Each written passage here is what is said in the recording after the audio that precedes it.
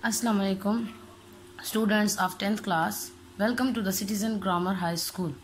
We are studying biology second term, chapter 14 reproduction. Our lecture is lecture 14 sexual reproduction in plants. Sexual reproduction जो है हमने पीछे discuss किया है sexual reproduction is the type of reproduction in which the male and female gametes fuse with each other and form a zygote and the zygote develop into off springs ठीक है? तो sexual reproduction को पढ़ने के लिए सबसे पहले हम फ्लॉर को पढ़ेंगे, क्योंकि मैंने आपको बताया है कि plants is divided into two main parts vegetative part and reproductive part तो जब अगर हम रिप्रोडक्शन की बात करें तो हमने सबसे पहले रिप्रोडक्टिव पार्ट को डिस्कस करना है। Flower as a reproductive part ठीक है? फ्लावर जो है प्लांट का रिप्रोडक्टिव पार्ट है, ऐसा पार्ट जहाँ पर रिप्रोडक्शन का प्रोसेस होता है, या प्लांट का ऐसा हिस्सा जो ऑफ़ स्प्रिंग्स को रिप्रोड्यूस करने में या नस्ल को आगे बढ़ाने में अपना रोल प्ले करता है। So we will discuss first of all parts of a flower flower is the reproductive part of plant it has following parts. Receptacle. It is a swollen tip on which flower is present. ठीक है? ये एक सूजी हुई। आप कह सकते हैं कि एक बहुत ज़्यादा मोटी किस्म की टिप होती है जिसके ऊपर फ्लावर मौजूद होता है। उसको हम रिसेप्टिकल कहते हैं। Then next one is sepals it is the outer most whorl sepals are green in colour and protect the inner part of the flower before it opens ठीक है? सेपल्स को हम कैलिक्स भी बोलते हैं। ये सबसे पहला घेरा होता है। वर्ल्ड बोलेंगे घेरे को। सेपल्स जो होती हैं, ये ग्रीन कलर की होती हैं और इनका काम होता है फ्लावर को प्रोटेक्ट करना जब तक कि वो मुकम्मल तौर पर ओपन नहीं हो जाता। आप लोगों ने अक्सर देखा होगा कि फूलों के खिलने से पहले उनके ऊपर ग्रीन कलर के लीव्स होते हैं जिन्होंने उनको मुकम्मल कवर किया होता है, एक बर्ड सी बनी होती है, जिसने उसको कवर किया होता है, वो सेपल्स होते हैं। ठीक है? नेक्स्ट वन इज़ पेटल्स या क्रोला और उर्दू में हम इसको फूल की पत्तियाँ बोलते हैं। It is a second whorl and colourful ये क्या है? फ्लावर का सेकेंड वर्ल है, दूसरा घेरा है और ये रंगदार होता है। यहाँ डायग्राम में आपको दिखाती हूँ, ये देखें, ये रिसेप्टिकल है, वो टिप जहाँ पर फ्लावर मौजूद है। और ये सेपल्स हैं। मीन्स कि जब फ्लावर ओपन हो जाता है तो सेपल्स ये नीचे की तरफ़, कुछ सेपल्स गिर जाती हैं और कुछ जो है वो फ्लावर के नीचे की तरफ़ आ जाती हैं। और ये हमारे पास पेटल है।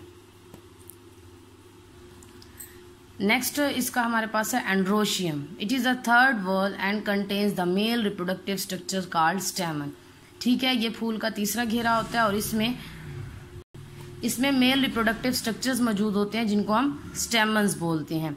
Each stamen consist of anther and filament so what is anther the anther contains pollen sacs called microsporangia which produce pollen grains microspores ठीक है एंथर जो है वेंट्रोशियम का वो पार्ट होता है, जो पोलन सैक पर मुश्तमिल होता है, जहाँ पर क्या बनते हैं? पोलन ग्रेन्स बनते हैं। पोलन सैक को हम बियोलॉजी की टर्म में माइक्रोस्पोरेंजिया बोलेंगे और पोलन ग्रेन्स को माइक्रोस्पोर्स कहा जाता है। Filament it is the stalk supports the anther ये वो आप कह सकते हैं कि एक तरह की स्टॉक होती है, जिसने एंथर को सपोर्ट किया होता है। ये देखें, ये फ्लावर में आपको नज़र आ रही है? ये हमारे पास जो पार्ट है, इस पूरे पार्ट को हम लोग स्टेमन बोलते हैं। इसका ये जो ऊपर वाला पार्ट है, इसको एंथर और ये जो इसकी स्टॉक है जिसने इसको होल्ड किया हुआ है, इसको हम फिलामेंट बोलते हैं। यहाँ पर भी आपको मजीद डिटेलिंग में दिखाया गया है। ये अंदर से एंथर का पार्ट जो है, ये इस तरह से होता है और इसके अंदर क्या बनते हैं? माइक्रोस्पोर या फिर पोलन ग्रेन्स बनते हैं और ये इसकी स्टॉक है। इसको फिलामेंट बोलेंगे। ओवरऑल स्ट्रक्चर को हम लोग स्टेमन या मेल रिप्रोडक्टिव स्ट्रक्चर बोलेंगे। Next one is gynoecium it is the fourth inner most whorl ठीक है? चौथा और सबसे अंदर वाला घेरा होता है प्लांट फ्लावर का it contains the female reproductive structures called carpels इसके अंदर फीमेल रिप्रोडक्टिव स्ट्रक्चर्स मौजूद होते हैं, जिनको हम कार्पल्स बोलते हैं। Each carpel consist of ovary style and stigma her carpel में एक ओवरी स्टाइल और स्टिग्मा होता है। मीन्स जैसे एंड्रोशियम के दो पार्ट थे एंथर और फिलामेंट इसी तरह से कार्पल के तीन पार्ट्स हैं ovary style and stigma so first of all what is ovary it is the swollen base of carpel carpel की जो बुनियाद होती है, वो थोड़ी सी स्वेल होती है, आप कह सकते हैं कि थोड़ी सी मोटी होती है। It contains one or many ovules इसके अंदर एक या एक से ज़्यादा ओव्यूल्स मौजूद होते हैं, जिनको हम बायोलॉजी में मेगास्पोरेंजिया बोलते हैं विच प्रोड्यूस ओवा मेगास्पोर्स जो कि ओवा मीन्स एक्स प्रोड्यूस करते हैं, जिनको हम मेगास्पोर्स कहते हैं। ठीक है?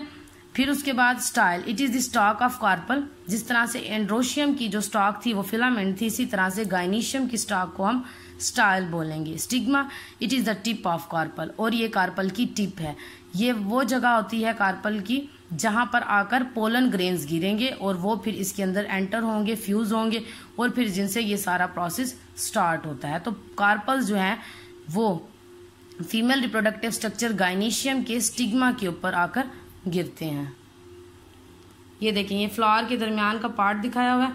इस पूरे पार्ट को हम लोग कार्पल बोलेंगे। ये देखें, ये जो हमने कहा था कि बेस में जो स्वेल पार्ट होगा, इसको ओवरी कहा जाता है। ये जो इसकी नेक है या जो स्टॉक है, इसको हम स्टाइल बोलेंगे और ये इसकी टिप, इसको हम लोग स्टिग्मा बोलेंगे। ये ओवरी को अंदर से दिखाया हुआ है। ओवरी के अंदर बहुत सारे ओव्यूल्स या फिर एग्स मौजूद होते हैं। ठीक है?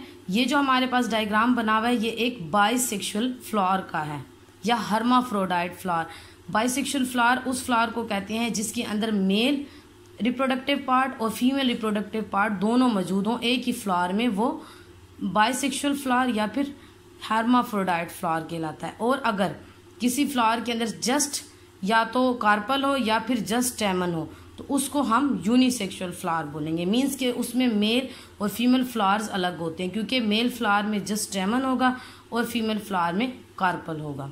ठीक है तो ये था हमारा आज का टॉपिक